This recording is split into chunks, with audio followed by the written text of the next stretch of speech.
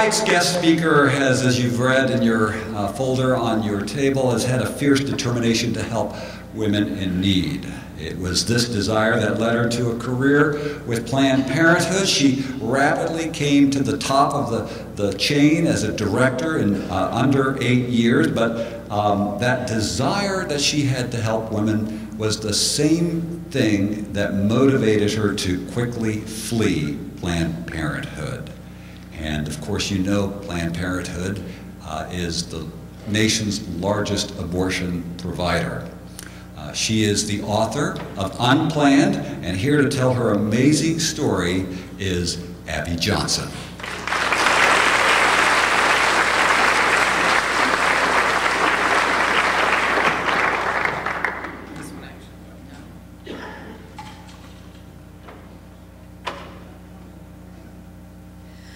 Well, I am from Texas, so howdy.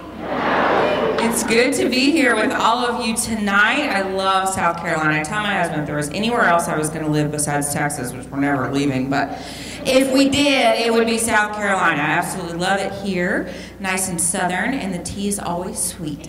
So, um, I, I wanted to start out by just kind of telling you a story, something that's happening in our life right now. Um, my very best friend lives in Maryland, and she is a uh, sign language interpreter. And she interprets for, she's a volunteer interpreter at her church. There's a large deaf community uh, in, the, in the city where she lives, and, and a lot of them come to her church. And so she interprets there. About five months ago, she called me and said, You know, one of the gals um, that I interpret for is pregnant. She said, I don't really know a lot about the situation, but um, she went to her local pregnancy center, and because she wasn't going to have an abortion, they told her that they wouldn't be able to help her.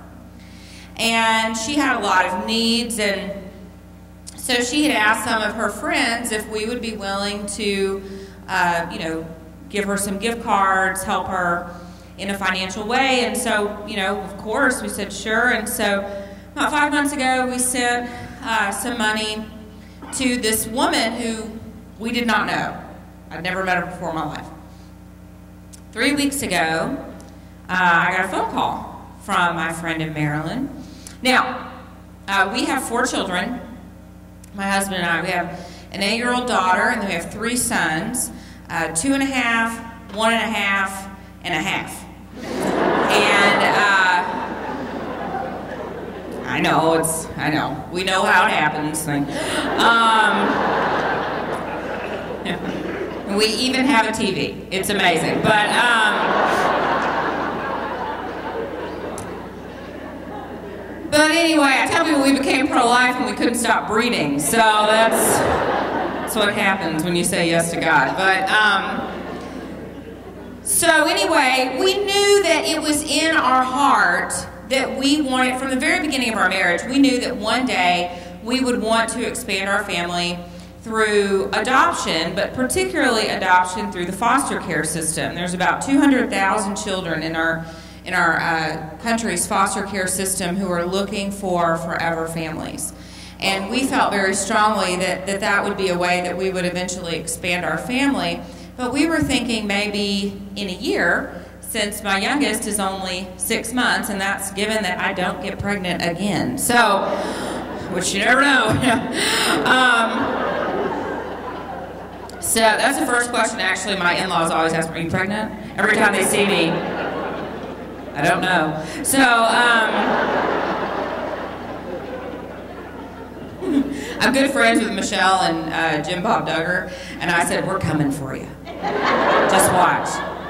So anyway, um, so, okay, so my friend calls me three weeks ago, and she says, hey, Abby, you know, um, and we talk just about every day, but um, I could tell she had a she had an agenda with this phone call. And she said, hey, she said, I know that, you know, you guys, you talk about adopting and everything. When, you know, when do you think you're kind of looking at, at being really serious about adopting? And I said, oh, I don't know, probably in about a year. And she said, oh, yeah, okay. Um, what do you think about two weeks? And I sat there for a minute and I said, Well, okay. And then I thought, I better call my husband. So,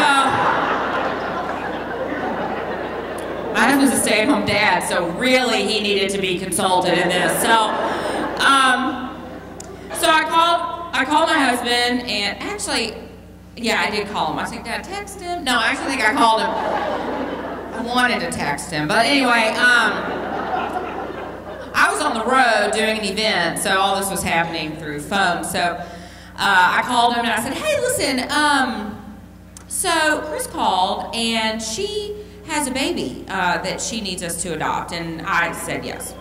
And um,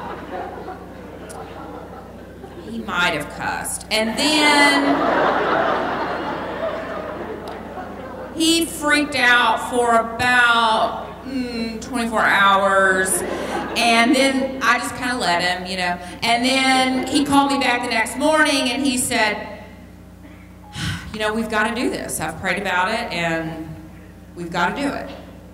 So the more we found out about the situation, the more heartbreaking it actually became. See, this little boy uh, was not conceived in a loving relationship and um, he is uh, biracial. His father's African American, his mom is Caucasian, and this woman, this this mother, had actually been involved with an adoptive family. Um, like I said, the, the the mother is deaf, and this adoptive family three weeks ago sent her an email and said, you know, we've decided that since there is a, a small possibility that your baby could be deaf, we don't want it. And so another adoptive family was called who was home study ready. And something was mentioned about the baby being biracial, and the couple's question was, well, how black is the dad? So that was obviously not a fit. And so then we were called. And having a six month old child at home, I'm sure everybody thought we were crazy when we said that we were going to adopt this baby. But I figure that if we are a people of life, when that call comes, we better say yes. And so our son, Jude, well, I, I have set him up for the rest of his life to hear that Beatles song. Um, but uh, Jude, we, we decided on Jude because uh, first, the uh, birth mother has three children, and all of their names start with J, and so we wanted to continue that with, with our adopted son. And also, um, I'm Catholic, I think I'm the only one here. Um, maybe.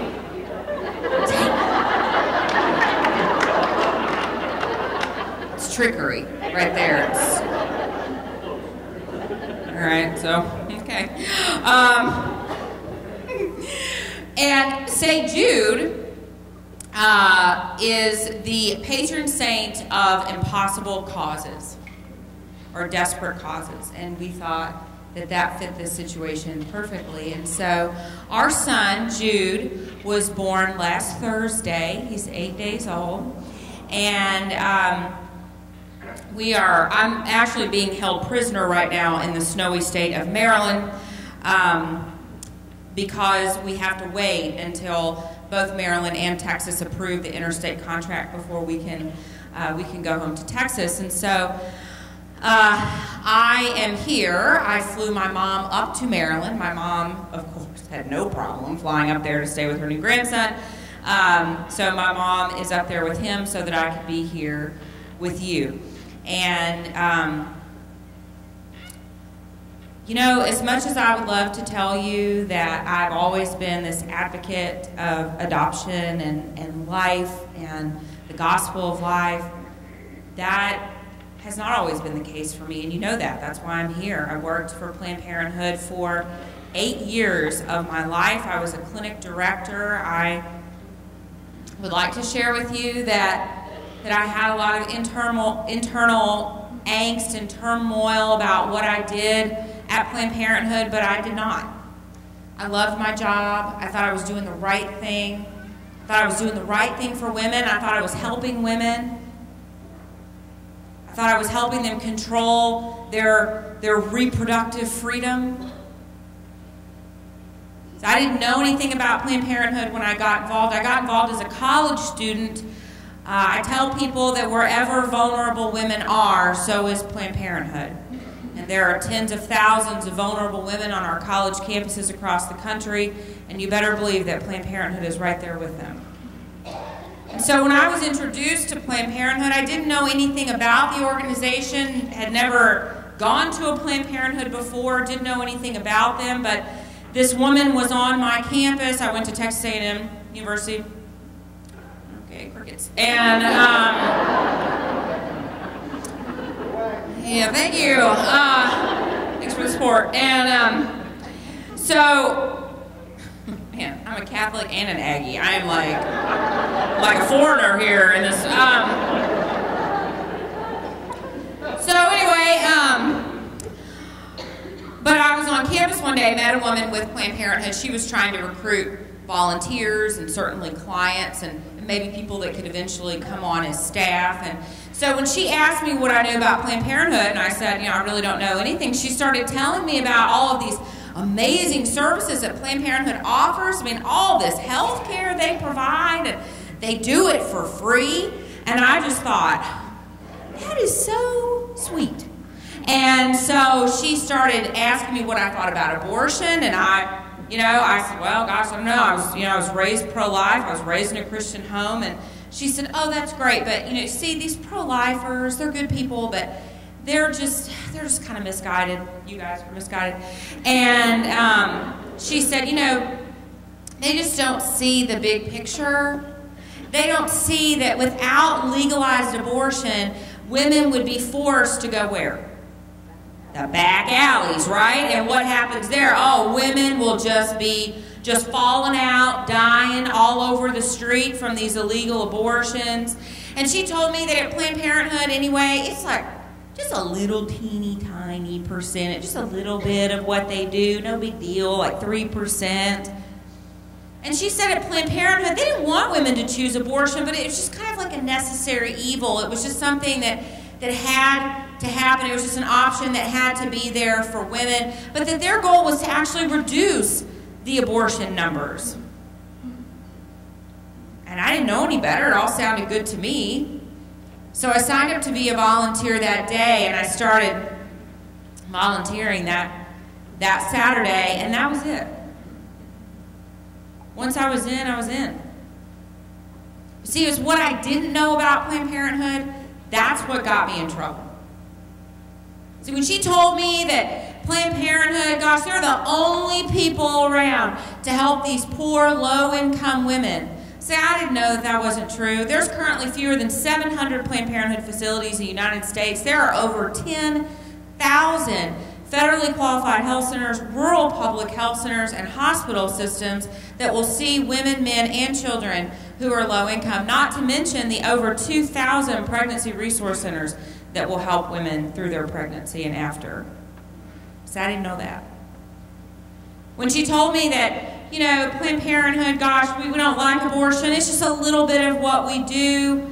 So I didn't know that that 3% actually equaled 330,000 abortions every year.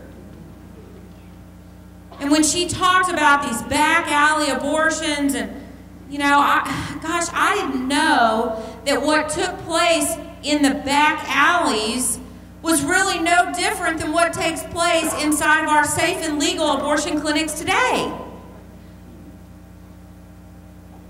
And when she told me that we were there to liberate and empower women, I didn't know part of that liberation and empowerment would mean selling abortions to girls as young as 10. I didn't know that it would be providing a safe haven for those who abuse these young girls. Covering up abuse of young women. I didn't know that's what they meant when they said they liberated women. People ask me all the time, Abby, how is it that you went from being this good Christian kid, this kid that was raised in this this amazing parent, amazing parents. We were in church every Sunday, every Wednesday, youth camp, youth choir, all of that. How is it that you went from somebody that was like that to being someone who ran an abortion clinic? How did you go from being that kid to being a person that laid on an abortion clinic table not once but twice to take the life of my own children?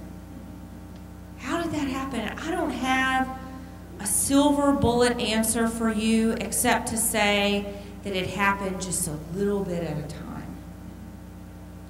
Because that's the way that sin works in our lives. It's just that one moment. You allow that one moment of sin to enter your life, to enter your heart, to enter your mind, and you can become a person that you don't even know people say, "Oh, Abby, I, oh, I, I, I could never have an abortion." Yes, you could. Oh, Abby, I, oh, I don't know how you did that. I could never work in an abortion clinic. Yes, you could. All it takes is that one moment of sin. And that one moment can spiral out of control. And you can do things and be involved in situations it seems like it's not even who you are. But while I know that Satan has to be kind of sneaky to do his dirty work, I know that when God wants to change your life, it can happen like that.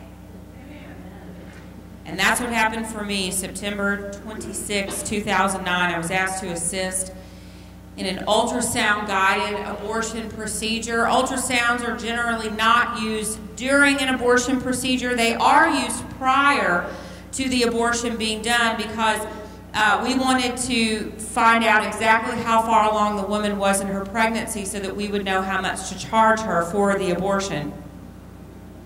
But then after the gestational dating is done, the ultrasound is rolled away, and abortion in our country is done in a blind manner. So a, a physician, maybe a physician, maybe not, has uh, an instrument called a cannula. That is like a tube, like a, a little straw. And that's what's hooked up to the suction machine. And, and the physician takes that cannula and he blindly probes in and out of the woman's uterus until he thinks he has enough blood and tissue in a glass jar. That glass jar goes through a little turnstile pass through that's in the wall.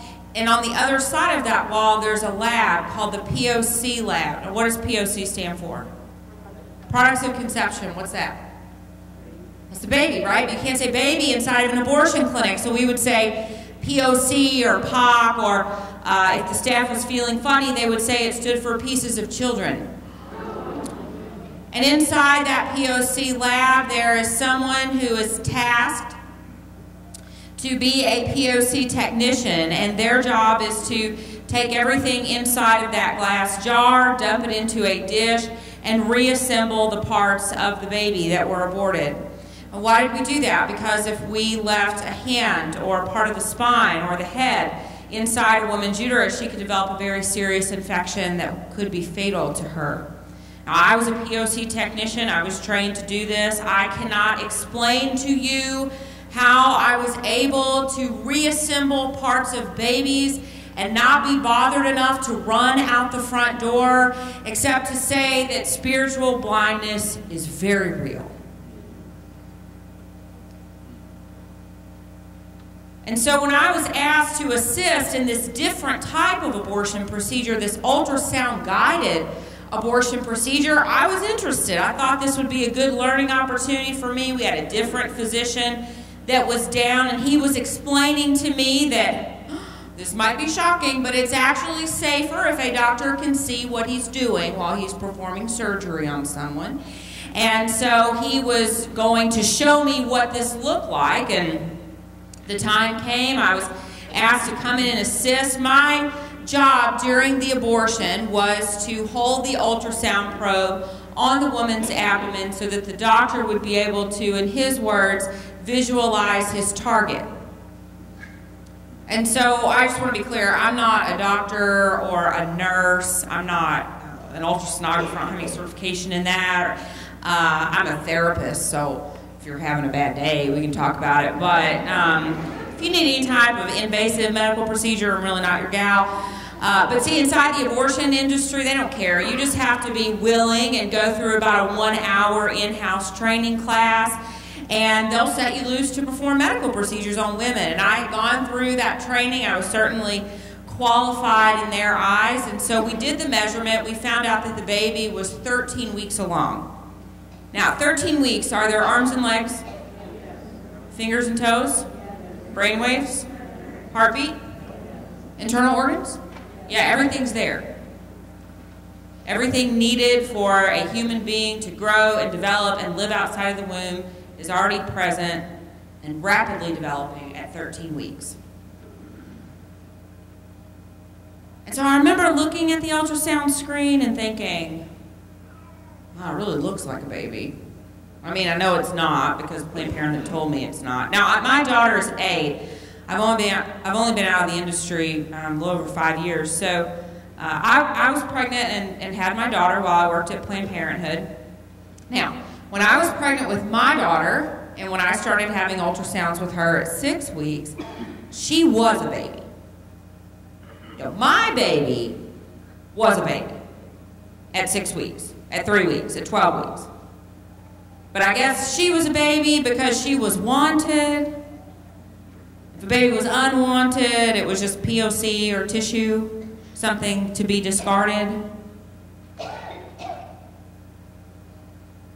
And so I, I was looking at that ultrasound. I was actually remembering the, the ultrasound that I had with my daughter Grace and feeling a little apprehensive, feeling a little anxious, but reminding myself that no matter what, no matter what, this baby, this tissue, this POC was not going to feel anything. Now let me speak to that for a minute. See, women would come into my clinic, and the, the number one question I would get asked was, Will my baby feel this? Because you see what we've done, and we've even done it in the pro life movement. We have somehow equated humanity to pain. See all these pain capable bills are floating around?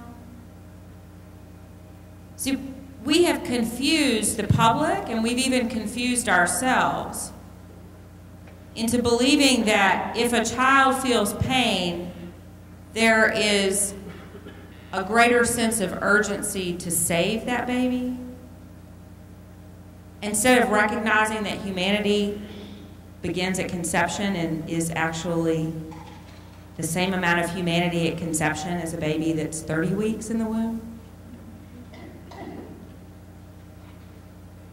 And so, see what's happened now in Montana, there's some pro life legislators that, with all this pain capable distraction that's going on, they've actually introduced a bill that continues to allow abortion after 20 weeks as long as the baby receives an analgesic so that they won't feel the death in the womb. See, this is the dangerous road that we tread when we start to make decisions on what babies have humanity and what babies don't. What babies are worth saving more than other babies. And so, because we are confused about it, these women who came in to our clinic, they were confused about it, and they would ask us this question, and we had a scripted response that we were to give back to these women. And the scripted response that I gave back thousands of times was, no, the fetus has no sensory development or does not feel anything until 28 weeks. Now, do you believe that? No. Well, I did. I mean, I knew better. And these women, they knew better too. 60% of women that have abortions already have children at home. We're not dealing with a group of people that don't know what it's like to be pregnant, that don't know that they're having a baby. They know they're having a baby. But what we've done in our society is that we have convinced women that if your baby is going to be born into a less than perfect situation, the most compassionate thing to do, the most merciful thing to do, is to take that baby's life. Why? Because we are so afraid of suffering in our nation. I mean, that's why we have this culture of death, right? Because we don't want to suffer. Ooh, if a baby could possibly suffer as it's growing up, well, let's kill it. Ooh, you have a bad, you have a, a bad diagnosis, brain cancer. Ooh, let's just go ahead and kill you. Oh, you're really elderly. Oh, your quality of life is low. We don't want you to suffer. We'll just go ahead and euthanize you. Everything, all of this culture of death that we're saturated in revolves around the fact that we do not want to suffer. Instead of taking our suffering joyfully and having that suffering draw us nearer to the cross of Christ, instead of using that opportunity to draw near to Christ, we say, we don't want to suffer, so we're going to introduce death.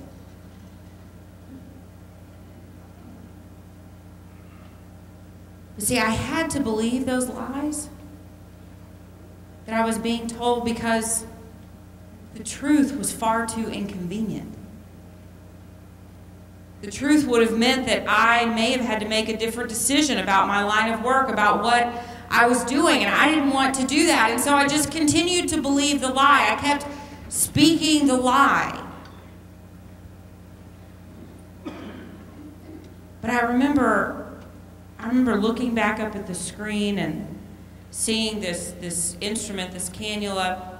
The suction wasn't turned on yet. I remember watching it go into the woman's uterus on the screen and and I watched it go right up next to the side of this little boy, and as it touched his side, he jumped. And he began flailing his arms and legs as if he were trying to move away from that abortion instrument, but there was nowhere for him to go.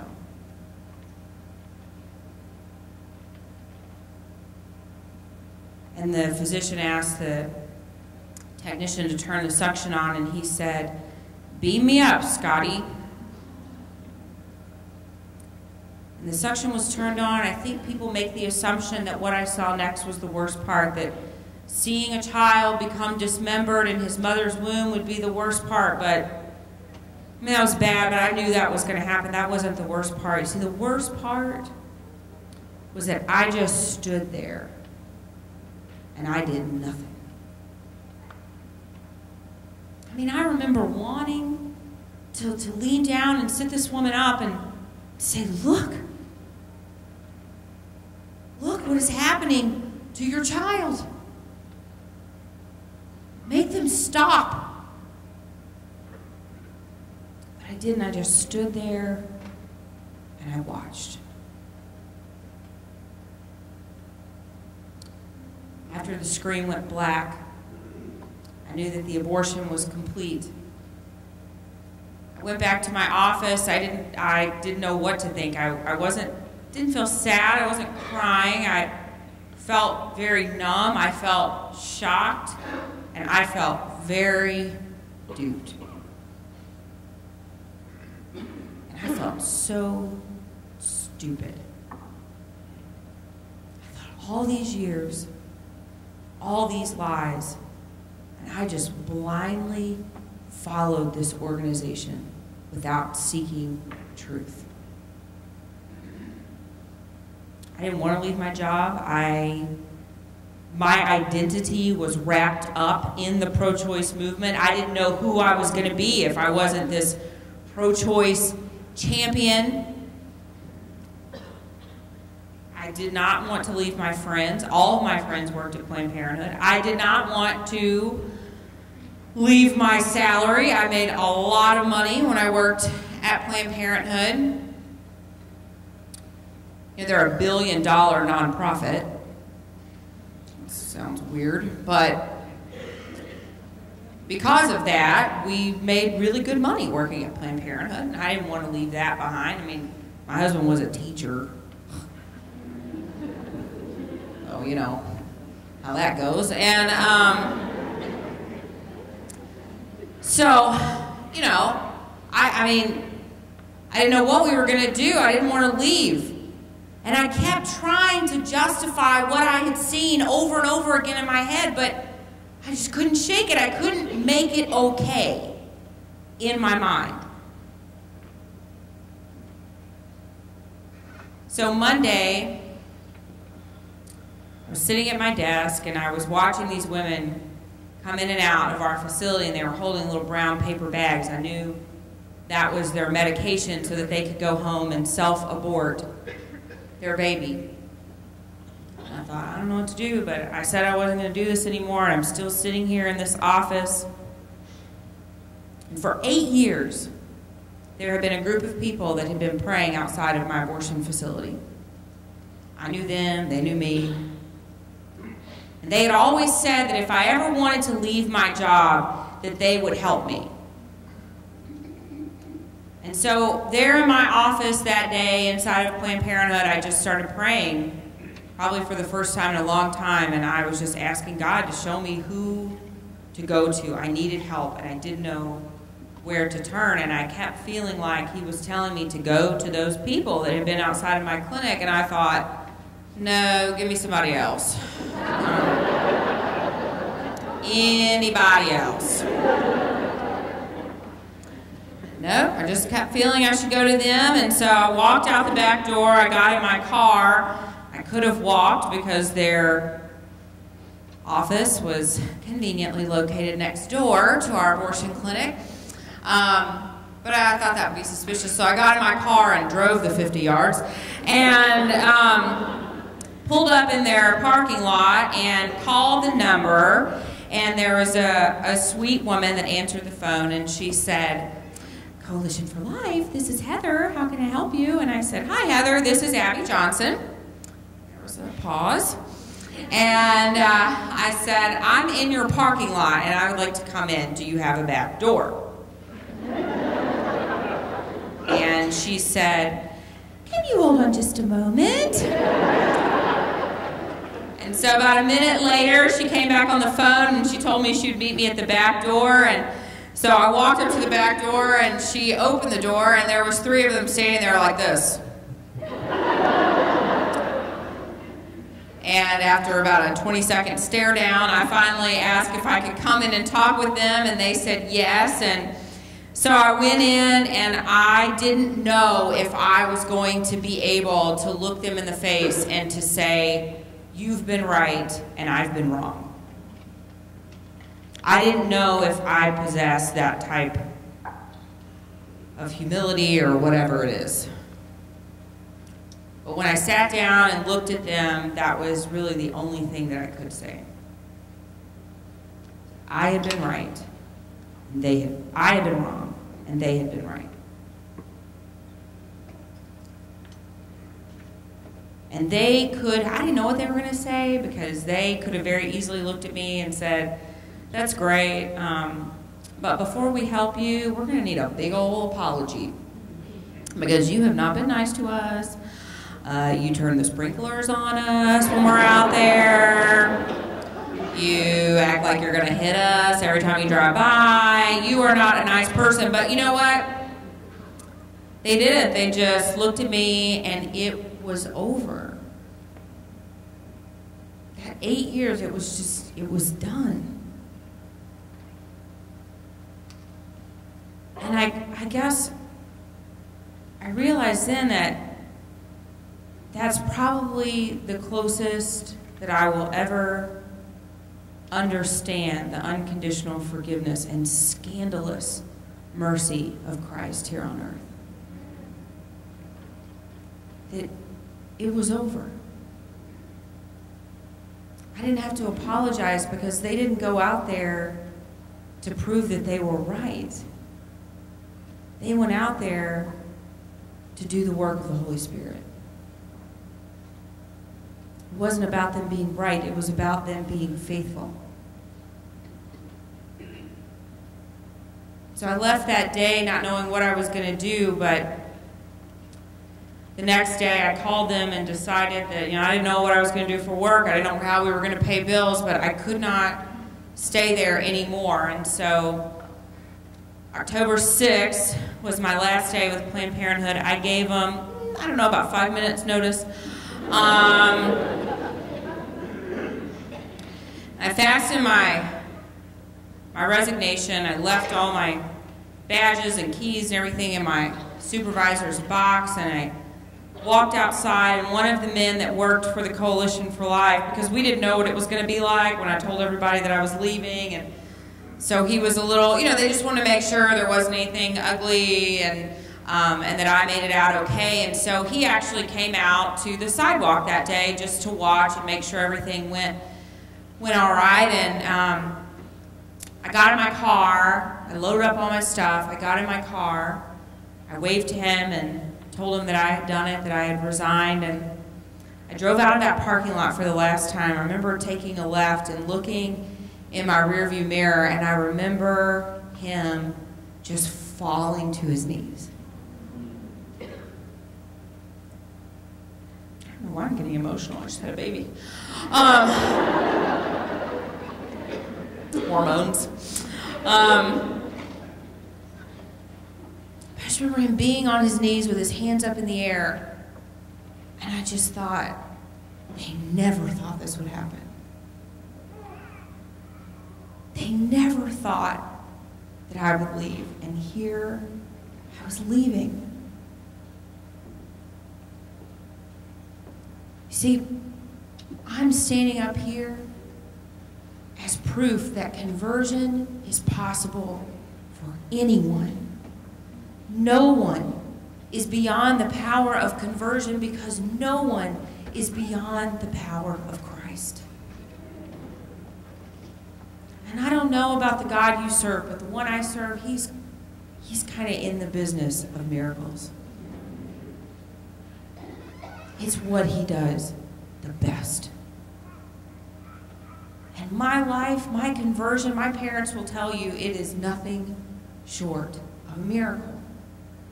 That's why we do this work. Nobody got into the pro life movement. I can tell you, none of the women or men that work for this ministry thought, I'm going to work here because I have a real strong passion for giving out diapers. That's not why you get into the pro life movement. That's not why you get into a ministry like this. You get into a ministry like this because you believe in the power of conversion through Christ.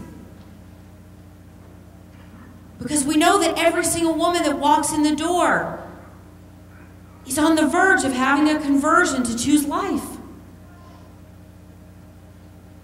We pray for our politicians who do not align with us because we know that all it takes is God interceding one time and conversion is possible. These women who, who are racked with guilt because of past abortions in their life, and they don't feel like they can connect with Christ because their sin is too great. You see, we know that God is right there waiting for a conversion. We're pro life because we believe in conversion. See, we're not here because we just want to make abortion illegal. We're here because we want to make abortion unthinkable. And what we're doing here is creating a paradigm shift in our culture, one from a culture of death to a culture of life. And all it takes is just one person to begin that paradigm shift. That one person reaches out to someone else and that person reaches out to someone else. And look at what has happened in your community. So many lives saved, so many women transformed by the power of Christ.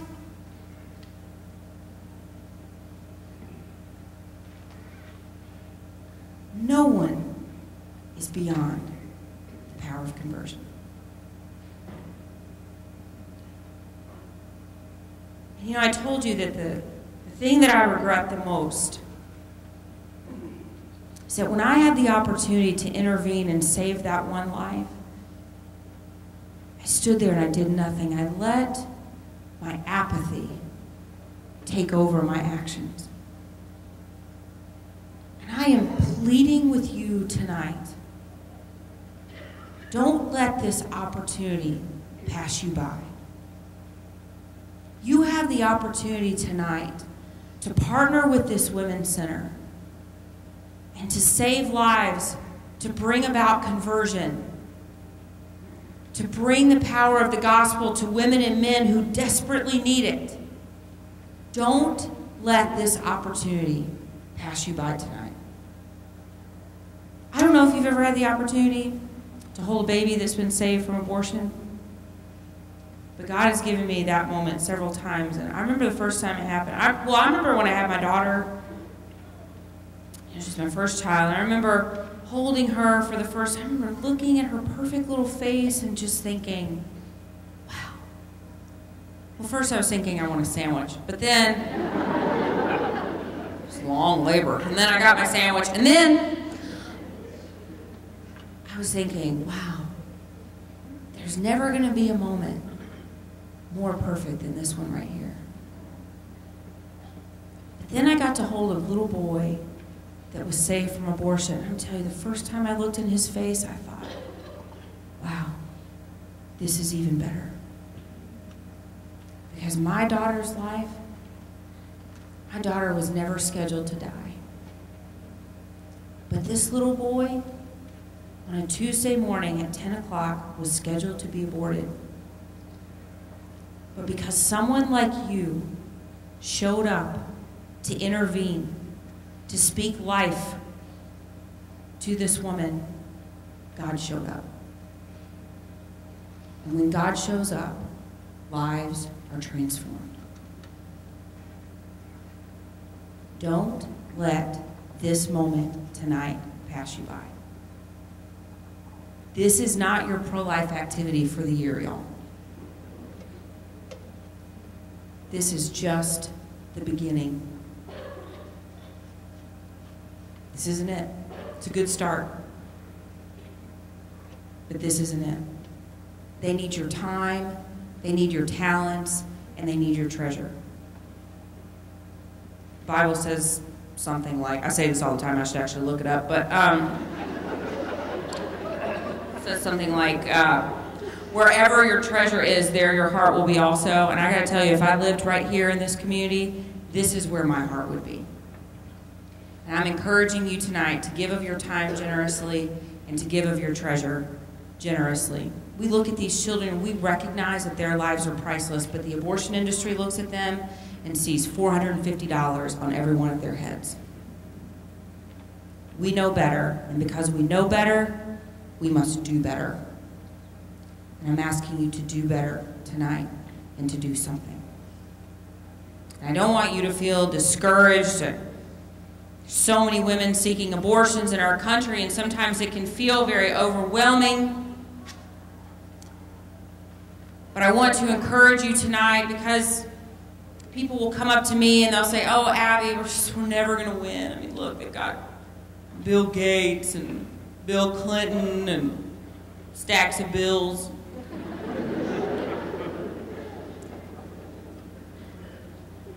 But I tell them, you know what? It doesn't matter who they have on their side. It doesn't matter how much money they have because we know that we've already won this victory. We have the number one guy on our side, and that's Jesus Christ, and we will win. Thank you so much, and God bless you.